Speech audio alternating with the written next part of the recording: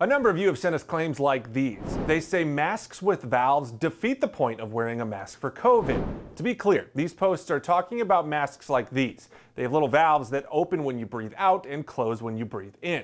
So are these masks less effective at preventing COVID? We checked with the CDC and the FDA.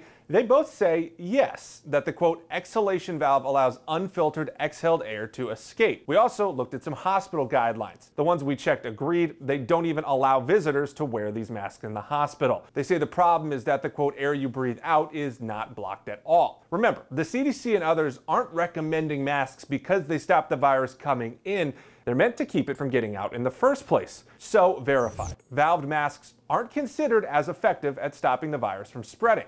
If you have one, it's worth getting one without valves, but in the meantime, any mask is better than none. With your Verify, I'm Jason Puckett.